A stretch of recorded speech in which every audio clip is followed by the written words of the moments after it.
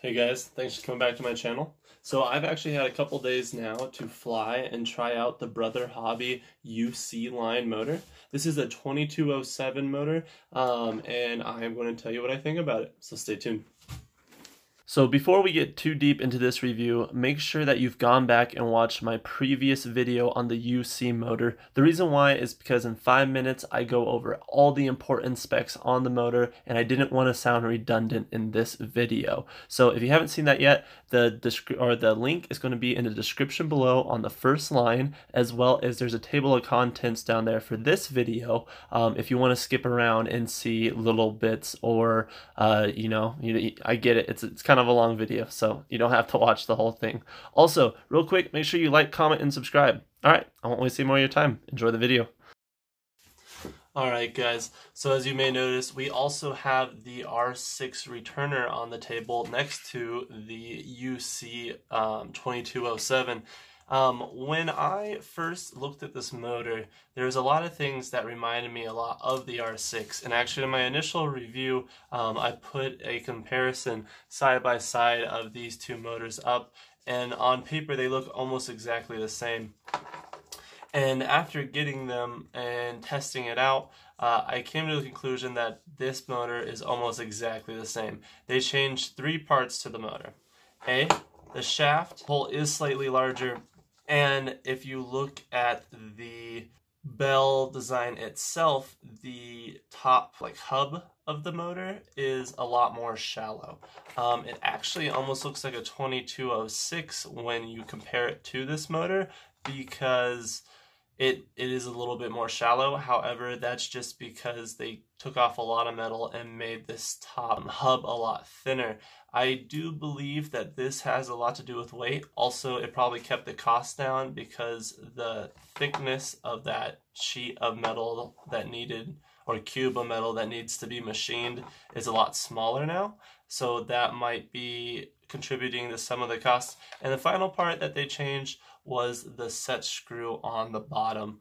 Um, the set screws that normally come with the Brother Hobby line are actually quite nice set screws. I've never had an issue with them, and my buddy hasn't either.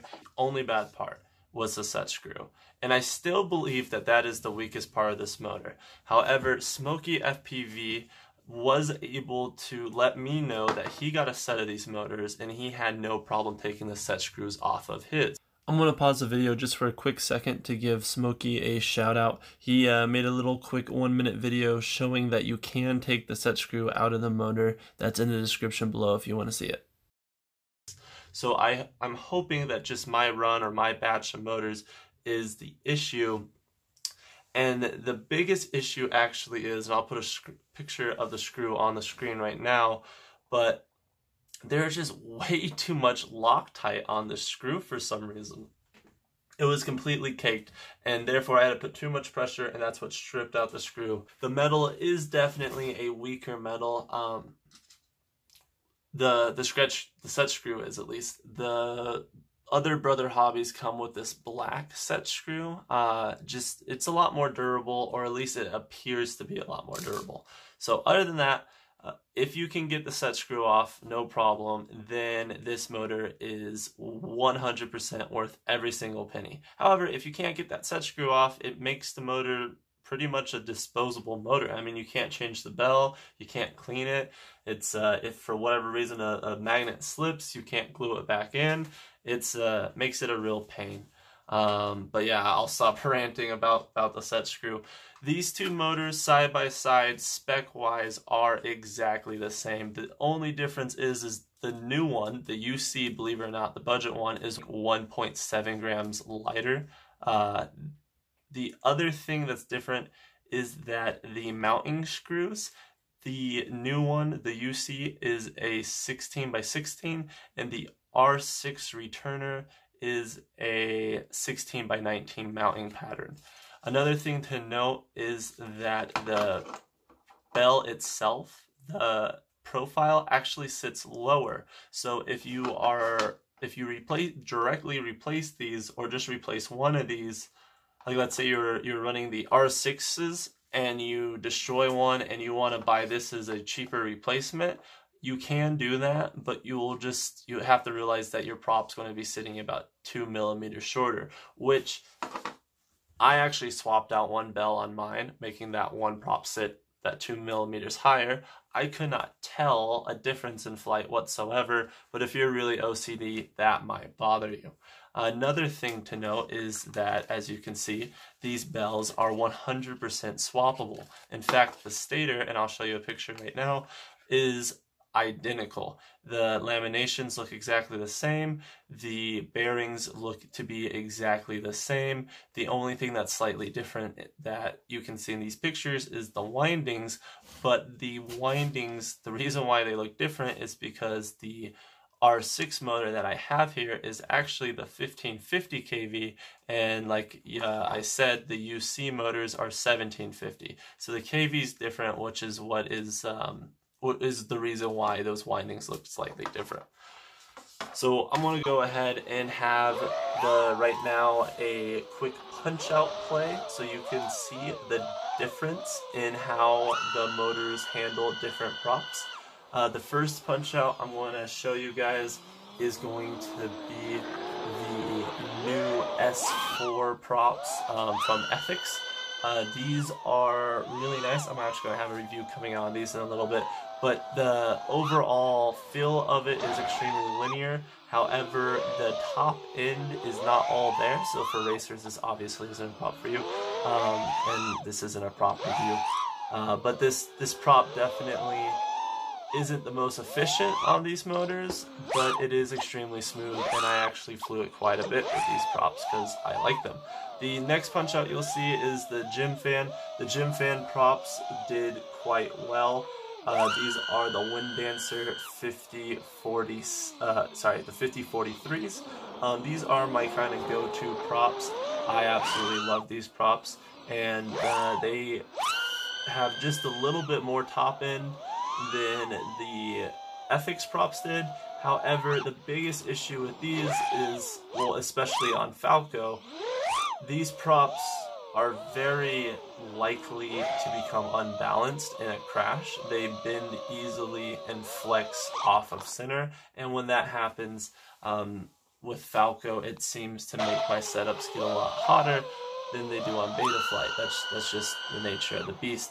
Um, so these motors seem to handle these props bent up just fine. I did have quite a few crashes, and I did get to test that, but uh, it definitely definitely something to note. And they definitely handled just fine on the Min Chan Kim props, which is the most aggressive prop I tested on here. Definitely the fastest and actually one of the most efficient props on these motors. So if you were planning on racing these motors, I really do feel paired with the Minchan Kim props uh, that they would do well. I don't have the perfect pin, the perfect PID tune for all these different props. It's uh, tuned for the Gemfan props, and I kind of just threw the air props on there to show you different punch outs.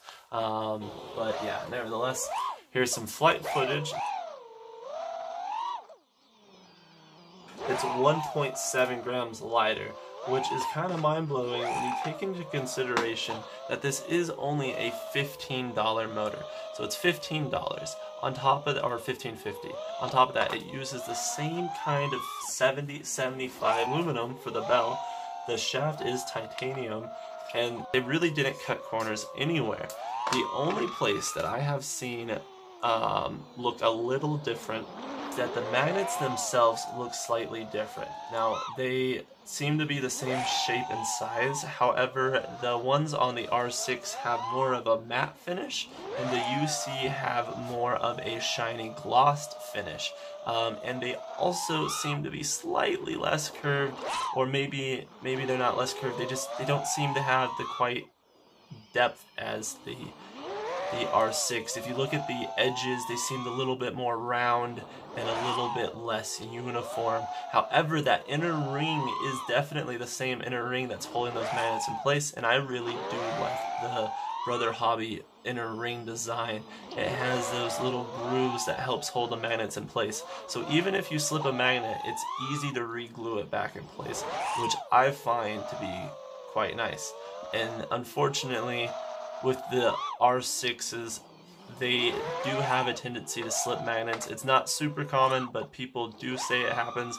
And in fact, this bell right here actually did have a slipped magnet that I did glue back in place before flying it. Like I said, if it happens, it's, it's really easy to fix with these bells. Alright, the only other real notable difference between these two bells is that since that hub is shorter, the shaft itself is the exact same length, and that means that there is a lot more space where there's not threads on the shaft.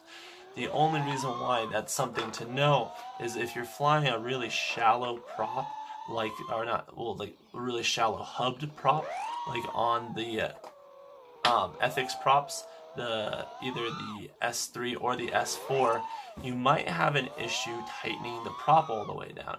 Now, if you're using the original nuts, uh, this won't be any issue because the original ones, uh, the original ones are black, and they have this little um, flange on the bottom. But if you have to, for whatever reason, if you dropped a nut like I did and have to replace it, the ones without the flange won't work because it'll end up hitting that shaft right there where it's not threaded and it actually won't lock down all the way on the prop. So something to note, however, it's not like like I said, the the nuts that it comes with, it wasn't an issue. And if for whatever reason you have to use a different nut, you might have to put a little washer or something on there. Um, this does take a full size nut, which to me is very important, and it only adds a minuscule amount of weight. Actually, here, let's see what the weight difference is these nuts. So 6.1, and I know that the black ones that it comes with weighs the same. Actually, I think they're 6 point, or uh, 0.62, um, not 6.1.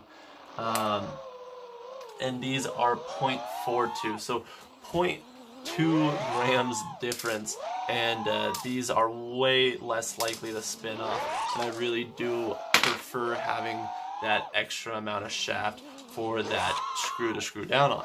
On the original um, R6 motors, you would have a hard time, depending on what prop you use, uh, to use a full-size nut, as well as the R6s came with one of these flat nuts. Actually, this is the nut that came with the R6. Also, in the box, you're going to get a nut and these um, 12.9 hardness steel um, M3 head screws. The, they're the bigger headed screws that a lot of people like. In this box, you get the same thing pretty much, but, or well, this box. When I say this box, I mean the UC one. You get the same thing pretty much. However, you're going to get that slightly bigger nut, um, and this isn't the one that came with it. It came with a black one. That's just one I had in that box. And it comes with these, which they say they're 12.9 hardness, but I really feel like this is a cheaper metal because it's the same, um, same off color like that other, like the set screw was. It's the the shiny silver as opposed to the the black anodized um, one that comes on the the R6. So ranting a little bit, but there you go. There's all the differences. Alrighty guys, so now that we're at the end of the video, what is my honest opinion about this motor? Well, honestly, if you like a 2207 1750 kV and you fly 6S, then I don't think there's another motor on the market that is a better value where you get everything with no compromises. Well, a little compromise. That set screw was a little questionable, but essentially no compromises. It is lighter than the predecessors. It is the same um, 70 75 aluminum that we like. It is the same titanium shaft, just a little bit more hollowed out. There, that all in all, this motor is a win. And if for whatever reason it isn't quite as durable, or you damage that bell, well, you know what? It's $15.50. Buy a new motor. Or if you want to save every last penny, then buy an R6 bell and just replace it. And so what? That one motor is going to be slightly two millimeters taller than the other ones. You're never going to notice it. And if that's going to bother you, here, here's the thought. Buy two bells, replace the back two. That way your back two props are slightly higher up. Um, and that won't or shouldn't affect any kind of flight performance. If anything, it will make it slightly better because you have more separation um, in your props when you're flying forward. Anyways, I'm ranting at this point, but um, yeah, I feel like this motor is an absolute win, and hopefully here soon they will start releasing more KVs. So unfortunately, I saw Gabriel's comment after I was done editing this video. However, it appears that Brother Hobby has created this motor as a limited edition motor and they might not be sticking around forever. Also, we might not see any other KVs other than the one we have now, um, but only time will be able to tell and maybe a replacement bell so you don't have to fly, you know, a janky uh, R6 bell, which is slightly taller than the rest. But anyways, if you liked my video, make sure you hit that like button. Also, go ahead and click on this video up here if you want to see my most recent video updated, or if you want to, you know, see what YouTube thinks you would like the most, go ahead and click this video. Um, YouTube picked that one for you for some reason, so click that one, or click this one. But don't wait until the end and let YouTube pick as someone else's video to watch. No, pick one of these. I'm waiting.